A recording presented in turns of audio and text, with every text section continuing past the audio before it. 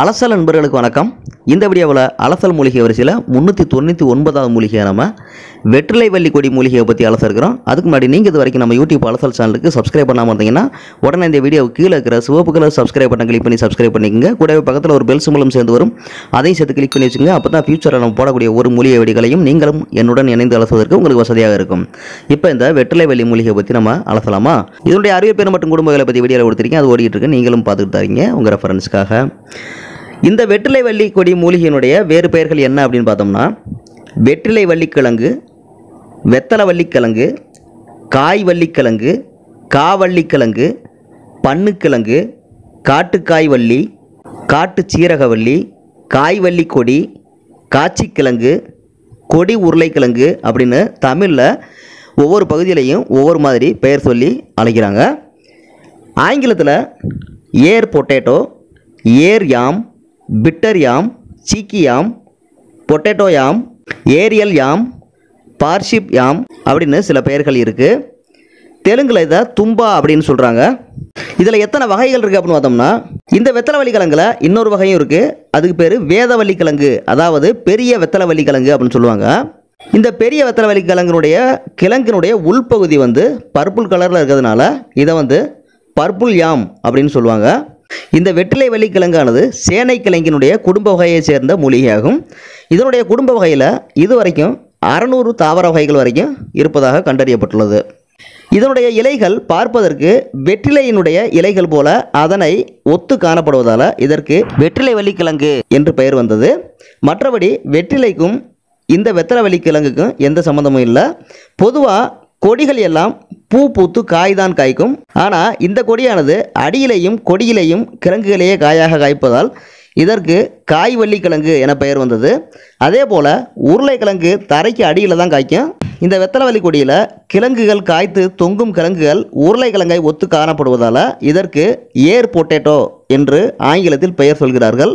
அதாவது கொடி உருளைக்கிழங்கு என்று அர்த்தம். அடுத்து இது எங்கேயெல்லாம் வளருது அப்படின்னு பார்த்தோம்னா இந்த கொடி வளர்வதற்கு குறிப்பிட்ட இடம் என்று எதுவும் கிடையாது. நீர் விட்டு வளர்த்தால் காடு கரை தோட்டம் துறவு வீடு வாசல் சந்து பொந்து என எல்லா இடத்திலும் வளரும் தாராள மனப்பான்மை உடையது இந்த கொடி. அடுத்ததனுடைய அமைப்பை பற்றி பார்க்கலாம். இந்த வெற்றிலை வள்ளிக்கிழங்கு சேனை கிழங்கு போலவே பத்து கிலோ முதல் இருபது கிலோ எடை அளவு கூட பெருக்கும் தன்மை உடையது. இந்த கிழங்கிலிருந்து படரும் கொடி படருவதற்கு தகுந்த சூழ்நிலை அமைந்தால் எல்லை இல்லாமல் பற்றி படர்ந்து செல்லும். இதனுடைய இலைகள் வெற்றிலையை ஒத்து இருந்தாலும் இலையினுடைய அடியில் காம்புக்கு அருகில் வெற்றிலை போல சீராக மேல் நோக்கி வளையாமல் வி வடிவத்தில் குளிந்து வளைந்து சீராக இருக்கும். இந்த கொடி நன்கு படர்ந்ததும் வெடித்த தென்னம்பாலை போல சரம் சரமாக பூக்கள் பூக்கின்றன. இந்த பூத்தண்டுக்கு அருகிலேயே ஒரு கிழங்கும் உருவாகிறது. இப்படி உருவாகும் காய் கிழங்கை வள்ளிமுத்து என்பார்கள். அதாவது இந்த கொடியில் காய்க்கக்கூடிய அனைத்து கிழங்குகளையுமே வள்ளிமுத்து என்று சொல்வார்கள். இந்த கொடியில் பூத்தண்டு முதிர்ந்து உதிர்ந்ததும் இந்த கிழங்குகளில் சீந்தல் கொடியில் தொங்குற மாதிரி வேர்கள் வந்து விழுது போல உருவாகின்றன. இப்படி உருவான கிழங்குகளை அப்படியே எடுத்து நட்டோம்னா புது தாவரமாக வளர்ந்துவிடும். இந்த கொடியில் காணப்படும் கிழங்குகளை மேல் தோலை சுரண்டாமல் அப்படியே வாயில் போட்டு சாப்பிடலாம். சுவையாக இருக்கும். அரிப்பு இருக்காது.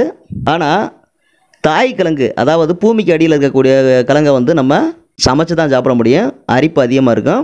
கொடியில் காய்க்கக்கூடிய கிழங்குகளை மட்டும் அப்படியே சாப்பிட்லாம். அடுத்து இதனுடைய குணத்தை பற்றி பார்க்கலாம். இந்த காய்வள்ளி என்று சொல்லப்படும் வெற்றிலை வள்ளி கிழங்கானது ஆஸ்துமா மாதவிடாய் பிரச்சனைகள் செரிமான மந்தம் எலும்பு கேன்சர் பித்தப்பை கோளாறுகள் இருமல் சோர்வு முடக்குவாதம் புரோட்டீன் குறைபாடால் வரக்கூடிய நோய்கள் மலச்சிக்கல் உடல் வளர்ச்சியின்மை இன்னும் எக்கச்சக்கமான உடல் பிரச்சனைகளை தீர்த்து வளர் இளம் குழந்தைகளுக்கு நல்ல ஊட்டச்சத்து மிக்க உணவாக இந்த கிழங்கு வந்து விளங்குகிறது. இந்த கிழங்கில் இரும்பு சுண்ணாம்பு துத்தநாகம் manganese beta carotene thiamine amino acid potassium vitamin B six vitamin B two vitamin K vitamin C என நிறைய சத்துக்கள் செறிந்து காணப்படுகிறது.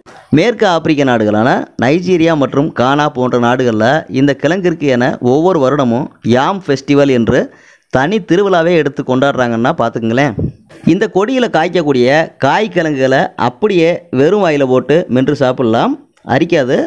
இந்த கிழங்குகளை விதக்கிழங்காகவும் நம்ம பயன்படுத்தலாம். கொடியினுடைய வேர்க்கிழங்கு பெருசாக இருக்கும். இதை சமையலுக்கு பயன்படுத்தலாம். காய் கிழங்குகளையும் உப்பு போட்டு அவித்தோ அல்லது சிறு துண்டுகளாக நறுக்கி போட்டு வறுத்தோ குழம்பு வச்சும் கூட சாப்பிட்லாம். மிக ருசியாக இருக்கும். பொதுவாக இதனுடைய கிழங்கு ஆடி மாதம் வந்து நடவு செய்கிறது நல்லது. கிழங்கு எடுப்பதற்கு காய்த்து ஓய்ந்து கொடி காஞ்சதும் கார்த்திகை மாதத்துக்கு பின்னாடி நம்ம தோண்டி எடுத்தோம்னா நல்லா பெருத்திருக்கும். இதனுடைய கிழங்குகளை சாப்பிட்டு வந்தால் நிறைய நோய்களை வந்து தவிர்த்து நலமுடன் நம்ம வாழ முடியும். இன்னொரு விஷயம் இதனுடைய பெரிய தாய் கிழங்குகளை சிறு துண்டுகளாக நறுக்கி பதியம் போட்டோம்னா தனித்தனி கிழங்குகளாக வளர்ந்துவிடும். ஒரே கிழங்கை வச்சு பல கொடிகளை வந்து நம்ம இது மூலம் நம்ம உருவாக்க முடியும். கொடியில் காய்க்கக்கூடிய கிழங்குகளை கம்பியில் கோர்த்து நெருப்பில் வாட்டி சுட்டு தின்றாலும் மிக அருமையாக இருக்கும். இதனுடைய சிறப்பை சொல்லிக்கிட்டே போகலாம் அவ்வளவு விஷயங்கள் அவ்வளவு சத்துக்கள் மருத்துவ குணங்கள் இதில் நிறையா இருக்குது இது ஒரு பாரம்பரியமான நான் தமிழ்நாட்டு உணவு முறைகளில் இதுவும் ஒன்று தான் நிறைய கிராமங்களில் அன்றைக்கி கிழங்கு வந்து மறந்துட்டாங்க. நிறைய பேருக்கு தெரிகிறதில்ல நம்ம பாரம்பரியமாக ஆரம்ப காலத்துல சாப்பிட்டு வந்த உணவு முறைகளையும் தாவர வகைகளையும் மீட்டெடுத்தோம்னா வருங்காலத்தை வந்து நல்ல ஒரு நலமான நோய் நொடி இல்லாத வருங்காலமாக நம்ம அமைக்க முடியும். இந்த வீடியோவில் நம்ம வெற்றிலை வள்ளிக்கிழங்கு மூலிகை பற்றி அலசனம் இந்த வீடியோ பிடிச்சிருந்தா நான் மறக்காம இந்த வீடியோக்கு ஒரு லைக் பண்ணுங்கள் இந்த வீடியோ சம்மந்தப்பட்ட கருத்துக்களையும் உங்களோட சந்தேகங்களையும் உங்களோட அனுபவங்களையும் கீழே கமெண்ட் செக்ஷனில் சொல்லுங்கள் உங்கள் வீட்டில் அந்த கொடியை வளர்க்குறீங்களா? அல்லது உங்கள் தோட்டத்தில் வளர்த்துக்கிட்டு இருக்கீங்களா? இந்த கிழங்கை நீங்கள் சாப்பிட்ருக்கீங்களா என்னென்ன வகையிலலாம் நீங்கள் இதை சமைச்சு சாப்பிட்ருக்கீங்க.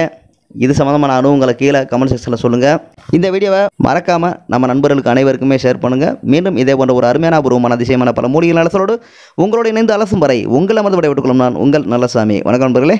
நன்றி.